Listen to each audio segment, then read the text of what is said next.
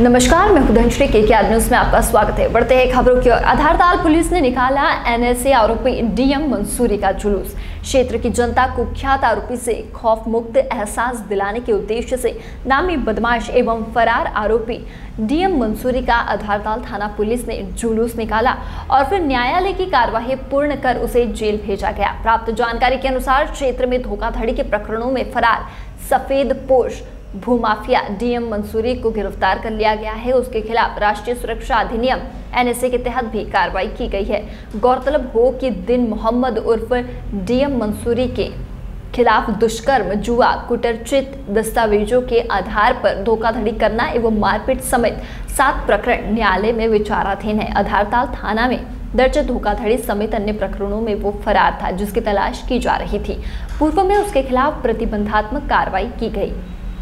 परंतु उसकी आदतों में सुधार नहीं हुआ। उसके स्वच्छंद विचरण से मानव जीवन के खतरे को देखते हुए पुलिस अधीक्षक सिद्धार्थ बहुगुना ने एनएसए प्रतिवेदन तैयार करने के निर्देश दिए थे। मंसूरी के खिलाफ एनएसए प्रतिवेदन कलेक्टर कार्यालय भेजा गया था, जिस पर सहमत होते हुए जिला दंडाधिकारी एवं कलेक्टर करमवीर शर्मा ने एनएसए वारंट जारी कर उसे केंद्रीय जेल में निरुद्ध कराने के निर्देश दिए थे।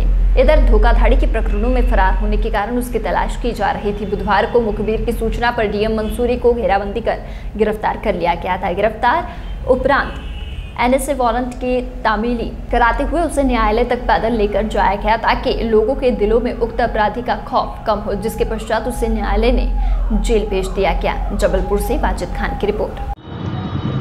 थाना आदाताल के भू माफिया दीन मोहम्मद मंसूरी हैं। इनके खिलाफ दो प्रकरण अभी दर्ज हुए थे। आ, इन लोगों ने मतलब रजिस्ट्री नहीं की थी। इस संबंध में इनको गिरफ़्तार किया एन में पहले गिरफ़्तार किया उसमें फिर इनको हमारी गिरफ्तारी की गई मामले में। इसको न्यायालय पेश किया जाए पैदल ले जाने की क्या वजह रही? तो गाड़ी ख़राब होगी तो इसीलिए थोड़ा सा क्या खराबी आ गई गाड़ी पंचर हो गई थी। ऐसे ही खबरों में बने रहने के लिए हमारे चैनल को लाइक शेयर और सब्सक्राइब करना ना भूलें।